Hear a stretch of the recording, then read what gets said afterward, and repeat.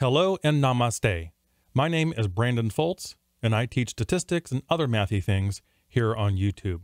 If you like this video, please hit subscribe and ring that bell for more.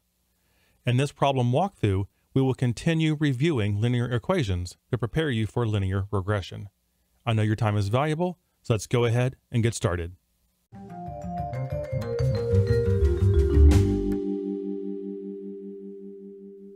Aaron's word processing service, AWPS, uh, this is Aaron over here on the left, by the way, does word processing.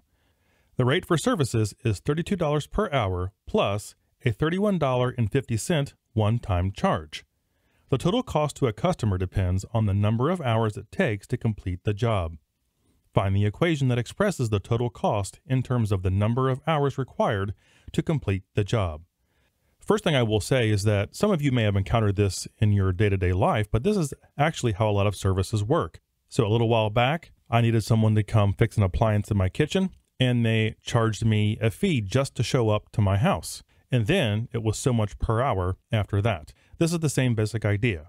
So, in his service, Aaron charges a $31 fee, $31.50 actually, just to basically show up. So if he agrees to the job, it's 3150 just the start.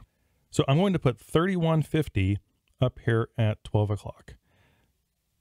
We'll assume that he's going to start this job at 12. And then every hour after that, it's $32.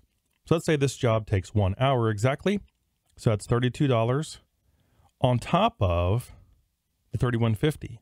Let's say it takes two hours. That's another $32. And so on and so forth.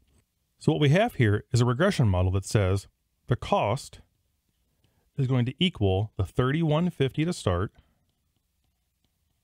plus $32 per hour. And we'll say the hour is the x, that's the variable. So we can say y equals 3150 plus 32x. Now, of course, each job doesn't have to take an exact hour amount. It could be 1.5 hours or 2.3 hours, doesn't matter. This variable x here allows flexibility. So he could charge 3150 plus 32 times, say, 2.4 hours to get his total. So here's the final equation that expresses the total cost in terms of the number of hours required to complete the job. Okay, so that wraps up this video. Before you go, please check out some of the other content I have here on my channel. That being said, I appreciate you spending some of your valuable time with me. I wish you all the best in your work and in your studies, and I look forward to seeing you again next time. Take care. Bye bye.